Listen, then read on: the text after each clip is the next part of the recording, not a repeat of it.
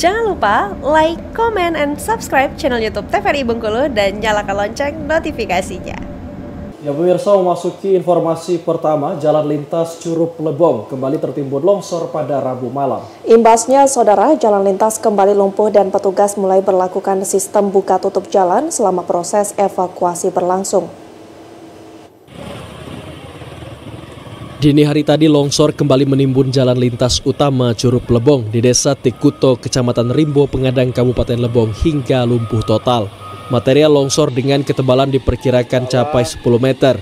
Kembali menutupi badan jalan setelah sehari pasca petugas berhasil mengevakuasi material longsor 4 titik yang terjadi pada selasa malam. Kejadian longsor hanya berjarak ratusan meter dari kejadian sebelumnya. Petugas gabungan terpaksa berlakukan sistem buka tutup jalan untuk sementara selama proses evakuasi berlangsung.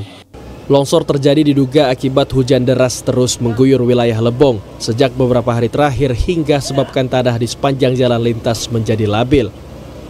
Jadi penyebab dari longsor ini sendiri kemungkinan karena hujan deras yang berlangsung dari kemarin siang sampai malam hingga eh, menyebabkan tanah menjadi menjadi labil kemudian terjadilah longsor sampai ke menimpa ke jalan raya.